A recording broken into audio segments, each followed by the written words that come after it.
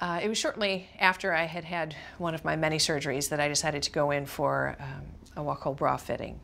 And I was filled with trepidation because you, your body changes after you have a myriad of surgeries and sometimes things don't heal properly. And so I, I, I was hesitant to go, terrified to go actually. And so when I went into the fitting room, you know, as modestly as I could, I knew that there was a young, beautiful, healthy woman coming in with a tape measure to look at me. And so, and you have to disrobe. I mean, to be measured, everything has to be off.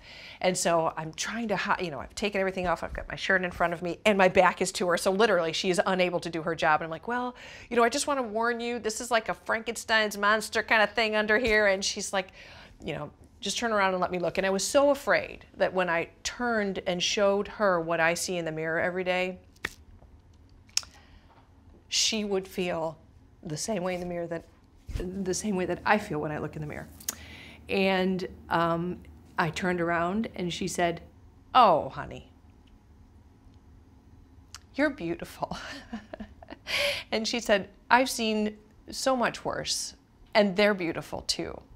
And this woman, this little angel woman, um, she never said, "You guys" or "those people." She said, my girls. And she said it over and over again. And I said, Who are you talking about? And she said, Well, the cancer women that I fit, they're all my girls.